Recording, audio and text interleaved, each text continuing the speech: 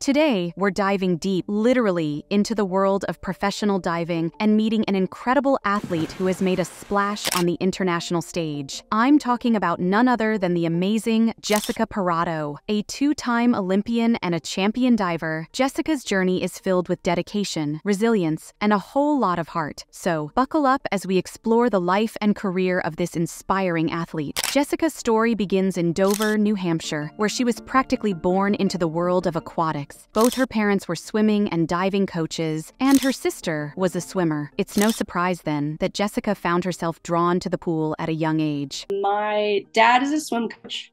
My mom is a swimming and diving coach. Um, my sister swam, and I, I was always around the pool. I grew up there. But diving, I just loved the challenge of it. It was so different from anything else I'd ever done. Jessica's natural talent and dedication were evident from the start. She quickly rose through the ranks of local and national competitions, eventually catching the attention of the diving world. Jessica's path led her to Indiana University, where she became a collegiate diving powerhouse. She earned numerous accolades, including being named the 2014 2015 Indiana University Female Athlete of the Year and claiming the title of NCAA champion in platform diving. Her talent wasn't limited to the collegiate level. At just 17 years old, Jessica competed in her first World Aquatics Championships, showcasing her potential on the international stage. Her eyes were set on the Olympics, which were the final goal. In 2016, she made that dream come true by making it to the Olympics in both the 10 meter platform diving and synchronized platform diving events for women. Even though she didn't win a medal in Rio,